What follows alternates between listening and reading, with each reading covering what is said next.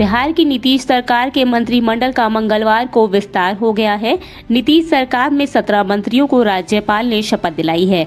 बिहार सरकार में बीजेपी के नौ और जेडीयू के आठ चेहरों को जगह दी गई है।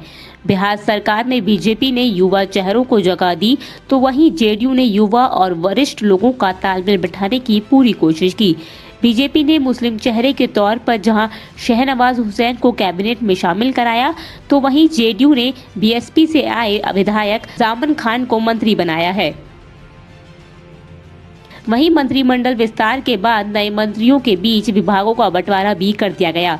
बीजेपी के कद्दावर नेता शहनवाज हुसैन को उद्योग मंत्री तथा श्रवण कुमार को ग्रामीण विकास मंत्री बनाया गया है।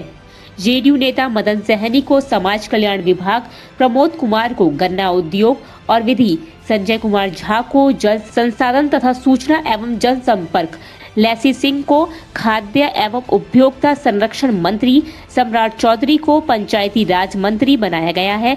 सुशांत सिंह राजपूत के भाई नीरज कुमार सिंह को पर्यावरण मंत्री, सुभाष सिंह को सहकारिता मंत्री, नितिन नवीन को पथ निर्माण मंत्री, जबकि सुमित कुमार सिंह को विज्ञान मंत्रालय सौंपा गया है।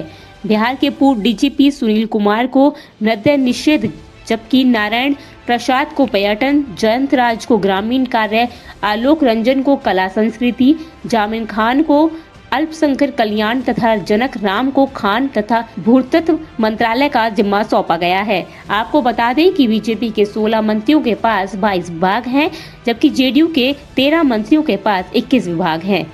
न्यूज़